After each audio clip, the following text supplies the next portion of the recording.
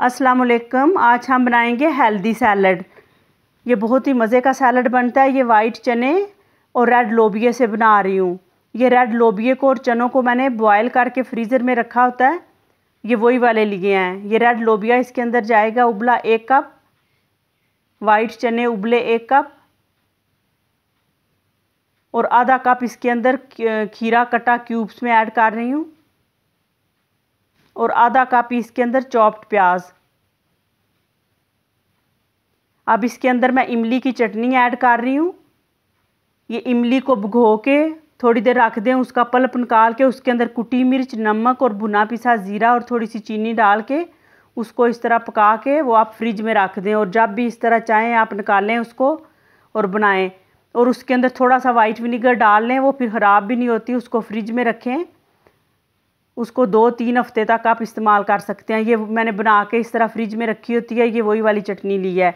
आधी टीस्पून इसके अंदर काला नमक ऐड कर रही हूँ और इसको मिक्स कर दूँगी। ये बहुत ही मज़े का सैलड बनता है। ये पहले भी मैंने, बहुत पहले सैलड बनाया था ये रेड लोबिये का और चनों का। और उसके अंदर मैंने इमली की चटनी बनाने का भी तरीका बताया था। और उसके अंदर वो जिंजर पाउडर भी मैंने ऐड किया था। जिंजर पाउडर से भी बहुत मज़े का फ्लेवर आता है।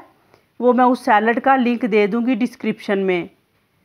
इसके अंदर वेजिटेबल भी मैंने ऐड की हैं और इस तरह अगर आप बॉयल करके चने को, लोबियों को रख दिया करें फ्रीज़र में और चटनी भी बना के फ्रिज में और आप जब चाहें आप इसको निकालें और बनाएँ। ये गर्मियों में सैलड बहुत अच्छे लगते हैं, आप इनको खाया करें।